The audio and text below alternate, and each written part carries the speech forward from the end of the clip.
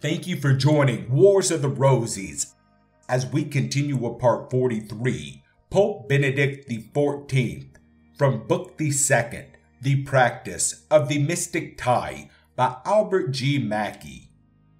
Part 43, Pope Benedict XIV.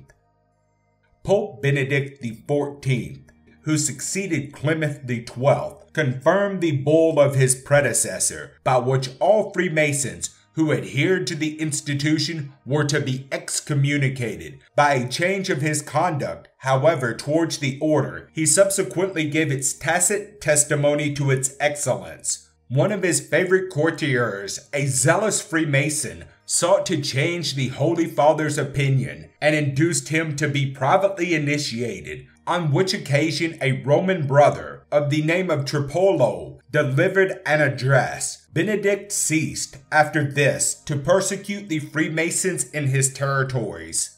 I give this statement on the authority of the German Freemasons lexicon. It receives, however, corroboration from the fact that the persecutions of Freemasonry, which distinguished the commencement of the reign of Benedict, were subsequently discontinued, and that the society received its due portion of the toleration which marked the career of that enlightenment and liberal pontiff. Thank you for watching, and please don't forget to share, like, subscribe, and comment. And if you can, please consider donating to Wars of the Roses. Links to PayPal and Patreon are in the description. Thank you so very much.